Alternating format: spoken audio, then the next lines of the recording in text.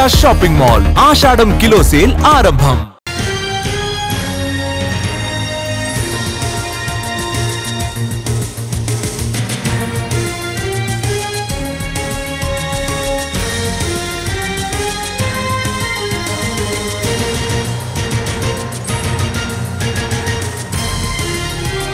హింసాత్మక ఘర్షణలతో బంగ్లాదేశ్ అట్టుడుకుతూ ఉంటే దేశం విడిచి వెళ్ళిపోయారు ప్రధాని షేక్ హసీనా. సోదరితో కలిసి హెలికాప్టర్లో వెళ్ళిపోయారు బంగ్లాదేశ్ ప్రధానిగా షేక్ హసీనా రాజీనామా చేశారంటూ వార్తలొస్తున్నాయి వివిధ పార్టీల నేతలతో ఆర్మీ చీఫ్ సంప్రదింపులు జరుపుతున్నట్టుగా తెలుస్తోంది. హింసాత్మక ఘర్షణలతో బంగ్లాదేశ్ అట్టుడుకుతోంది. నిరసన జ్వాలలతో భగభగా మండుతోంది.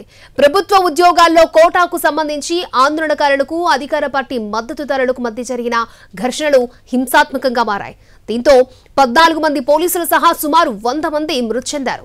వందలాది మంది గాయపడ్డారు. వీరిలో మూడు వందల మంది పోలీసులున్నారు.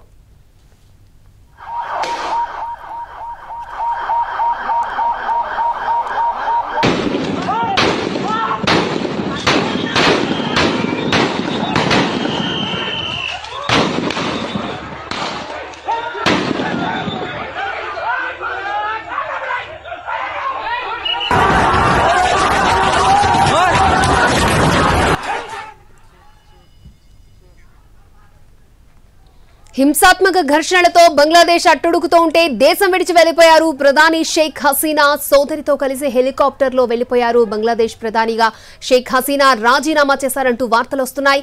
వివిధ పార్టీల నేతలతో ఆర్మీ చీఫ్ సంప్రదింపులు జరుపుతున్నట్లుగా తెలుస్తోంది. హింసాత్మక ఘర్షణలతో బంగ్లాదేశ్ అట్టుడుకుతోంది నిరసన జ్వాలలతో భగభగా మండుతోంది. ప్రభుత్వ ఉద్యోగాల్లో కోటాకు సంబంధించి ఆందోళనకారులకు అధికార పార్టీ మద్దతుదారులకు మధ్య జరిగిన ఘర్షణలు హింసాత్మకంగా మారాయి. దీంతో పద్నాలుగు మంది పోలీసులు సహా సుమారు వంద మంది మృతి చెందారు వందలాది మంది గాయపడ్డారు. వీరిలో మూడు వందల మంది పోలీసులున్నారు.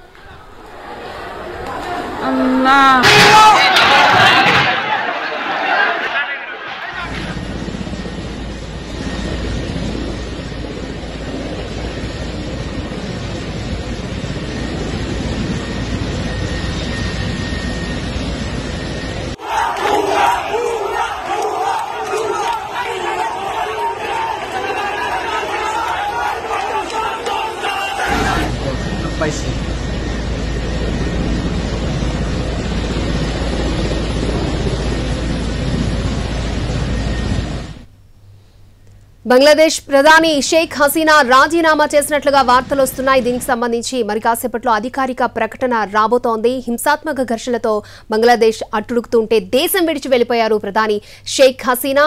అలాగే ఢాకాలో సైనిక పాలన దిశగా అడుగులు పడుతున్నట్లు తెలుస్తోంది. లేటెస్ట్ అప్డేట్స్ అందించడానికి మా ప్రతినిధి రాజు లైవ్లో సిద్ధంగా ఉన్నారు. రాజు. ఏసక్షయ గతంలో ఎప్పుడూ లేని విధంగా బంగ్లాదేశ్లో పెద్ద పెద్ద ఎత్తున రిజర్వేషన్లకు సంబంధించినటువంటి ఉద్యమం. అంతా కూడా ఇప్పుడు ఏకంగా ప్రధానిగా ఉన్నటువంటి షేక్ హసీనా రాజీనామా చేయాలంటూ పెద్ద ఎత్తున ఆందోళన చేస్తున్నటువంటి పరిస్థితి కనిపించింది. ఈరోజు బంగ్లాదేశ్ రాజధానిగా ఉన్నటువంటి ఢాకాను ముట్టడిస్తామని చెప్పి కూడా విద్యార్థి సంఘాలన్నీ అనౌన్స్ చేశాయి. దానికి అనుగుణంగానే ఢాకా వైపు విద్యార్థి సంఘాలు తరలి వస్తున్నటువంటి క్రమంలో షేక్ హసీనా తనకు అధికారిక నివాస ఏదైతే ఉందో ఢాకాలో అక్కడ నుంచి ఖాళీ చేసి ఆర్మీ హెలికాప్టర్లో వెస్ట్ బెంగాల్కు బయలుదేరినట్టుగా తెలుస్తుంది. వెస్ట్ బెంగాల్లో షేక్ హసీనాకు ప్రత్యేకంగా ఒక అతిథి గృహం కూడా ఉన్నట్టుగా తెలుస్తుంది. అయితే ఓవరాల్గా కూడా బంగ్లాదేశ్ గత కొన్ని నెలలుగా బంగ్లాదేశ్లో ఈ రిజర్వేషన్ల ఉద్యమానికి సంబంధించి పెద్ద ఎత్తున ఆందోళనలు జరుగుతూనే ఉన్నాయి. దాదాపు రెండు మూడు నెలలుగా జరుగుతున్నటువంటి ఈ ఆందోళనలో మూడు వందల నుంచి నాలుగు వందల మంది యువకులు మృతి చెందారు. అంతేకాదు అటు ఏదైతే షేక్ హసీనా పార్టీకి సంబంధించినటువంటి పలువురు నేతలు కూడా అంటే అవామీ లీగ్ పేరుతో షేక్ హసీనాకు సంబంధించినటువంటి పార్టీ ఉంది.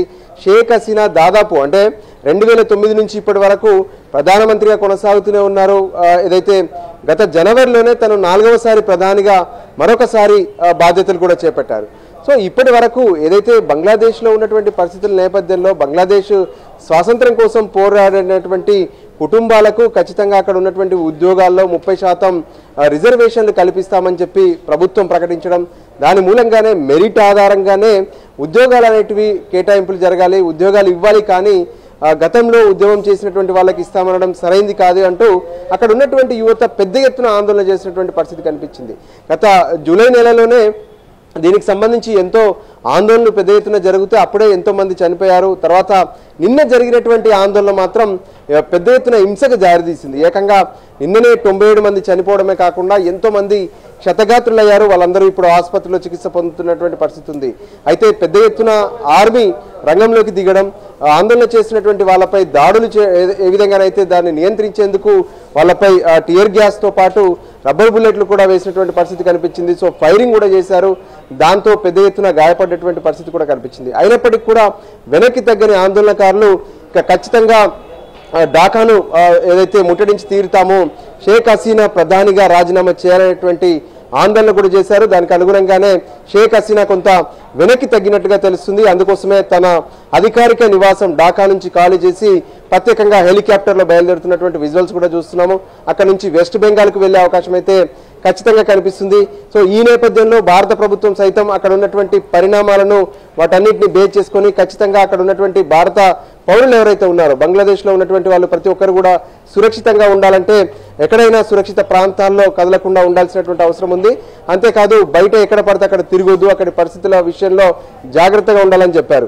ఎవరైనా ఇండియా నుంచి భారత్కు బంగ్లాదేశ్కు వెళ్ళాల్సినటువంటి వాళ్ళని సైతం అప్రమత్తం చేశారు. సీరియస్ వార్నింగ్ కూడా ఇచ్చారు. ఎవరు అంటే తదుపరి నోటీస్ అక్కడ ప్రశాంతత ఏర్పడేంత వరకు కూడా ఎవరు బంగ్లాదేశ్ వెళ్ళొద్దని చెప్పి కూడా వార్నింగ్ ఇచ్చినటువంటి పరిస్థితి కనిపిస్తుంది. సో మొత్తానికి మరి షేక్ హసీనా రాజీనామా చేయడంతో అక్కడ ఉన్నటువంటి రాజకీయ పరిణామాలు కానీ వీటన్నిటిపైన కూడా మరికొన్న మరికొన్ని ఖచ్చితంగా ప్రభావం చూపే అవకాశం కనిపిస్తుంది. ఆ తర్వాత ఆర్మీ చీఫ్ మరికొద్ది సేపట్లో దీనికి సంబంధించినటువంటి అధికారిక ప్రకటన కూడా చేసే అవకాశం కనిపిస్తుంది. అక్షయ. అంటే రాజు బంగ్లాదేశ్లో అంటే ముఖ్యంగా ఢాకాలో సైనిక పాలన దిశగా అడుగులు పడుతున్నట్టు తెలుస్తోంది. మరి సైనిక పాలనది అనేది ఢాకాకే పరిమితం అవుతుందంటారా ఎస్ అంటే ఇప్పుడు ప్రధానిగా తను రాజీనామా చేస్తున్నటువంటి క్రమంలో ఏ విధంగా తను రాజీనామా లేఖను అందించారు? అంతేకాదు ఆ రాజీనామాకు సంబంధించి అధికారికమైనటువంటి ప్రకటన ఇప్పటి వరకు రాలేదు. సో అక్కడ ఉన్నటువంటి పరిస్థితులను ఖచ్చితంగా కంట్రోల్లోకి తీసుకురావాలంటే ఇప్పుడు షేక్ హసీనాను అక్కడ ఉన్నటువంటి ఆందోళనకారులు వ్యతిరేకిస్తున్నటువంటి పరిస్థితి ఉంది. అందుకోసమే షేక్ హసీనా తను వెనక్కి తగ్గారు.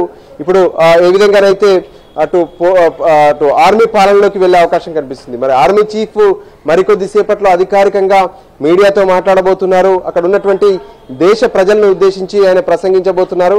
సో ఆ సందర్భంగానే అక్కడ ఉన్నటువంటి పరిస్థితులకు ఈ రిజర్వేషన్ల ఆందోళనను శాంతింపజేసేందుకు ఆయన స్టేట్మెంట్ ఎలా ఉండబోతుంది అనేది సో కీలకంగా మారబోతుంది. మొత్తానికి ఒక గందరగోళమైనటువంటి వాతావరణం హింస దాంతోపాటు కర్ఫ్యూ ఇవన్నీ కూడా ప్రస్తుతం బంగ్లాదేశ్లో కనిపిస్తున్నాయి. వీటి నడమ ఏ విధంగానైతే ప్రభుత్వం పైన పెద్ద ఎత్తున ఆందోళన జరుగుతున్నటువంటి నేపథ్యంలో ప్రధానిగా ఉన్నటువంటి షేక్ హసీనా తన అధికారిక నివాసాన్ని వీడి తన సురక్షిత ప్రాంతానికి బయలుదేరడం వీటన్నిటిని చూస్తుంటే ఖచ్చితంగా ఇప్పుడు ఆర్మీ చీఫ్ ఇచ్చేటటువంటి సందేశం అనేది చాలా కీలకంగా మారే అవకాశం అయితే స్పష్టంగా కనిపిస్తుంది. Akshaya. Okay Raju thanks for the live updates